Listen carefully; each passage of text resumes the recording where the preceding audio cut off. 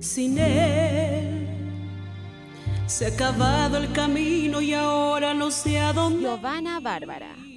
Nacida el 13 de abril de 1983 en Santa Cruz de la Sierra, hija menor de siete hermanos. Comenzó a trabajar a los 15 años en grupos musicales pequeños. Luego formó parte de la orquesta Big Ballet, siendo una de las primeras vocalistas en Santa Cruz en cuanto a orquestas.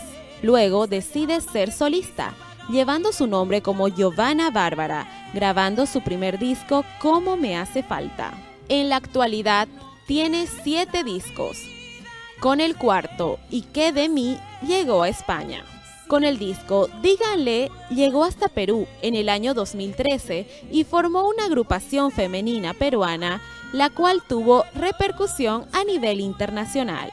Posteriormente, siguió trabajando con el nombre de Giovanna Bárbara. Con el disco Sin él, tuvo una gira por los Estados Unidos, Miami, Nueva York, llegando a la radio Nueva Mega, donde hicieron una entrevista por sus éxitos sin él y el tan aclamado tema del maestro Marco Antonio Solís, Invéntame.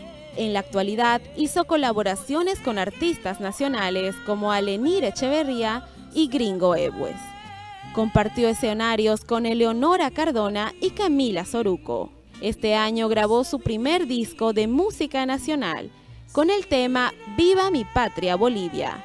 Tuvo giras en Brasil, Argentina, Perú, Estados Unidos y tuvo entrevistas con medios reconocidos en Perú y Estados Unidos.